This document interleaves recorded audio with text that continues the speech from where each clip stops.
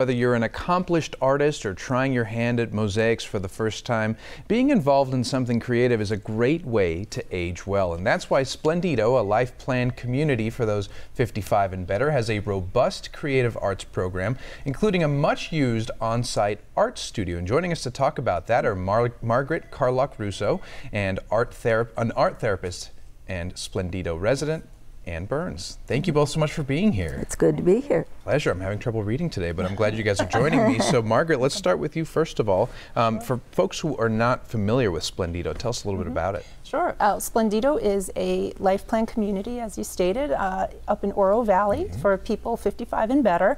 And it's a wonderful environment where individuals can live the resort lifestyle uh, that they hope to in retirement, but also, should they need it, they have the um, comfort of knowing that there's a care center right there as well, and that's Sonora. Definitely, and we've seen these photos before too. It's just gorgeous there. I mm -hmm. mean, mm-hmm. to, to think you're living in a resort style place, uh, who wouldn't want that, right? Mm -hmm. And of course, mm -hmm. as an art therapist, how does art and your work sort of fit into the mix there at Splendido? Sure. Well, working with the creative arts is an amazing opportunity for me. I'm mm-hmm. an art therapist, as you mentioned, um, which is a mental health profession. So yeah. I can straddle the line between helping individuals who maybe just want to learn something new mm-hmm. um, and try out the creative process and, or people who may also be going through some difficulties, a loss, a change in lifestyle, whatever, and uh, they can use the art therapy as a way of helping them cope with those situations. Wow. So we, we do a variety of things there. Just incredible. Uh, like we said at the top, the power of art. You mm -hmm. really mm-hmm. can't beat it. And Ann, of course, you've been a resident there at Splendido for a few years. Tell us about how you've been involved uh, with art during your time there. Well, it actually started before I moved to Splendido. I was in Carlsbad, California, uh -huh. taking watercolor classes at the MiraCosta Community College. And then I decided to move back to Tucson. And the instructor at our Tucson studio was teaching acrylics. So I went out and bought acrylics and started using acrylics and have enjoyed it very much. Wow, and mm -hmm. I mm-hmm. think that that was a photo of you. You looked positively radiant with the, you know, you were painting a pineapple. My pineapple. There. It looked great, better than anything I've ever painted. so, what's it like uh, to have that studio space at Splendido to be able to go there and be artistic and creative? It's very nice because we have uh, some of us small apartments, others larger apartments, mm -hmm. but we don't want to have uh, all of that laid out in our apartments, sure. so we have the the uh, studio where we can keep our things and we can go down there and work whenever the studio is available, which is a lot. Yeah, mm -hmm. to have a space dedicated to that, it's so great. You can kind of escape, you know, the problems of everyday life. Not that there are many problems there at Splendido, of course. You guys are well taken care of, but it's a nice place to go and just get your mind off things and, and the therapeutic nature of art.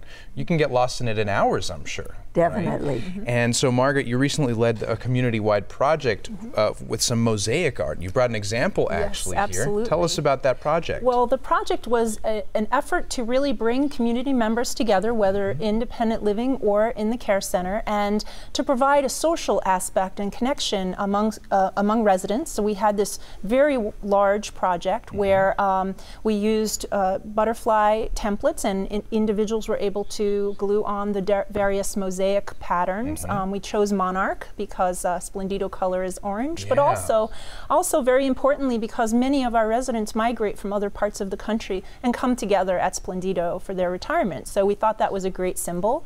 And uh, it was a wonderful way for people to have fun, socialize, and be creative at the same time as connecting with other members in the community. Yeah, that's the other thing too, is the social aspect. Mm -hmm. I mean, it really is profound. I'm sure you've made so many friends there over yes. your years at Splendido. And you, Ann, were a part of this Mosaic project. How, how did it go for you? It went very well. we were at a table of people that I knew. Mm -hmm. in, it was for independent living uh, residents. Uh -huh and we were each doing our individual uh, butterfly.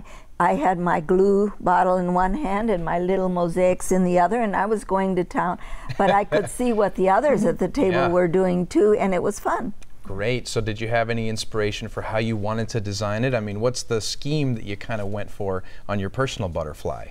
Well, I wanted to have it uh, balanced. Yeah. So I would put something on this side and something on this side and then around, try to make it look balanced. Mm -hmm. It turned out pretty well. Great. I mean, again, that's the complete solution there at mm-hmm. Splendido. You have activities like this, you have mm-hmm. everything else taken care of. We've heard so mm-hmm. many other positive aspects of Splendido too, and here you are with a big smile on your face, and it's just a testament to what a great community it is. And, and Margaret, before I let you go, anything else you want to leave us Well, with? I just want to add that these butterflies are now going to be installed around the community oh, as wow. a reminder of the, the a symbol of the members in the community, but also a reminder of our community and our working together. Uh, so there'll be some in our sensory garden in the care center and some over in independent living as well. Just fantastic. Mm-hmm. Thank you both so much for coming here, sharing a bit of your story with me, uh, and congrats on, on being an artist. I, I Oh, could only you. dream of being an artist someday. And Margaret, for everything you're doing there at Splendido. Thank you very much. Thanks to both of you. Now, discover a Splendido way of life. To learn more, log on to splendidotucson.com or call 520 762 4091.